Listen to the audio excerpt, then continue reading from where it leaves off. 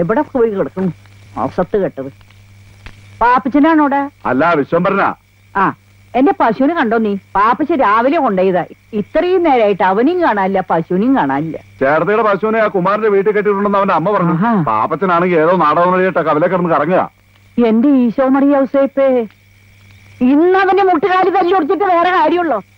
ഇന്ന് പോയിട്ട് നാളെ തിരിച്ചു വരാന്ന് പറഞ്ഞ ഒരു ബുദ്ധിമുട്ടുള്ള കാര്യല്ലേ? അതുകൊണ്ട് ഇന്ന് ഇവിടെ തങ്ങിയാൽ അതിനിവിടെ ലോഡ്ജും കാര്യങ്ങളൊന്നും ഇല്ലല്ലോ. അടുത്ത ആഴ്ച ഒരു പ്രശ്നവും ഇനി. നമ്മളെ പറയാൻ താമസിക്കുന്നേ. അതെന്താ? എന്റെ കദീജ കുട്ടി പ്രസവിക്കാൻ പോവല്ലേ കാമഡി. ഏത് പാതരാത്രിയിൽ എത്ര പെണ്ണുങ്ങളെ വിളിച്ചോണ്ട് ചെന്നാലും എന്റെ അമ്മ ഒന്നും പറയില്ല. അതെന്താ സുന്ദര? അമ്മ മരിച്ചുപോയില്ലേ? ഇതാ ഞാൻ അച്ഛനോട് പറഞ്ഞത്. ഈ ഒറ്റക്കളിക്ക് പോണ്ടെന്ന്.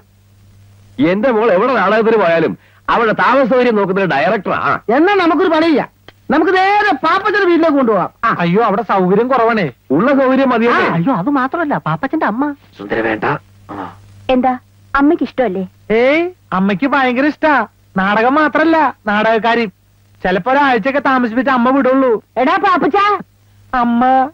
എടാ എണ്ണ കെട്ടവനെ. ഇതിനെങ്ങാണ്ട് കൊണ്ട് കെട്ടിട്ടിട്ട് അവന്റെ അമ്മേരെ നാടകം അഭിനയിക്കാൻ പോയിരിക്കുക. ഇങ്ങനൊരു മുടിഞ്ഞ സന്തതി എന്റെ വയറ്റിൽ പിറന്നല്ലോ മാതാവേ. അമ്മേ ഒരു നാടക സംവിധായകനായി എന്നെ വെറും ഒരു ചാണം വാരൽ തൊഴിലാളിയായിട്ട് കാണരുത്. പാപ്പി എന്റെ വായിലിരിക്കുന്നത് കേൾക്കരുത്.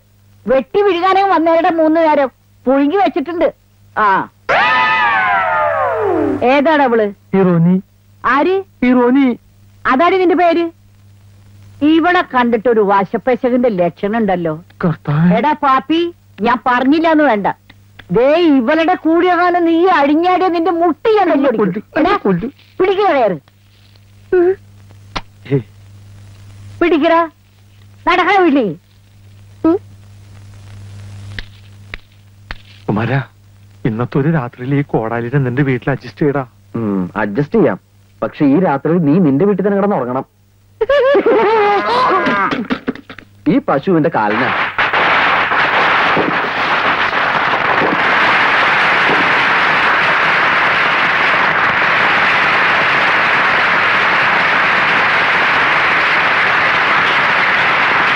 കണ്ണാടി തൊട്ട് കുരകൻ മനസ്സിലാവൂടാ. വീട് വിളിക്കാൻ സമ്മതിക്കൂല പണ്ടാരം. പഴയ മുഖ്യമന്ത്രി എത്തിക്കഴിഞ്ഞു. നിങ്ങൾ ഇവിടെ എന്തെടുക്കാ? ഇയാൾ എന്താ മുട്ടനായിട്ടിരിക്കുന്ന പോലെ? നിർത്തണോ? ഞാൻ ഡയലോഗ് പറഞ്ഞു നോക്കിയതാ ശകുന്തള എവിടെ? മേക്കപ്പ് കഴിഞ്ഞോ? മേക്കപ്പ് ഒക്കെ കഴിഞ്ഞു. പക്ഷെ ശകുന്തള സ്റ്റേജിൽ കയറി ഡയലോഗ് പറയണമെങ്കിൽ ആദ്യം എനിക്ക് കാശ് കിട്ടണം. എന്താ ചെയ്യ? നാണയം കഴിയുമ്പോ പൈസ തരാന്ന് പറഞ്ഞല്ലേ? ശകുന്തള സ്റ്റേജിൽ ഊമയായിട്ട് നിൽക്കും. ഞാൻ ഇതുപോലെ പല നാടകം പൊളിച്ചിട്ടുണ്ട്. ഞാൻ അപ്പഴേ പറഞ്ഞില്ല ഞാൻ പൊളിച്ചെടുക്കുന്നു?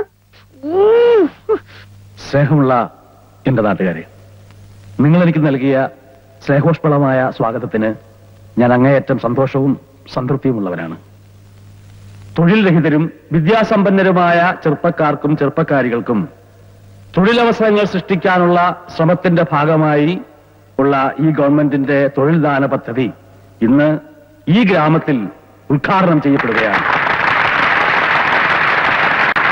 അടുത്തതായി പ്രതിഭാ തിയേറ്റേഴ്സ് അവതരിപ്പിക്കുന്ന നൃത്ത സംഗീത നാടകം ദുഷന്റെ മകൻ. അമ്മേ അമ്മ ഞാനൊന്ന് നാടകം കാണാൻ പോയിക്കോട്ടെ അമ്മേ. അച്ഛന്റെ സ്വഭാവം നിനക്കറിയാലോ? പോയിരുന്നു പഠിക്കും. അമ്മ അമ്മ പ്ലീസ് പോയിക്കോട്ടെ അമ്മേ. ദേ നിന്നോട് പറഞ്ഞത്. പോയിരുന്നു പഠിക്കാൻ. അല്ലേ?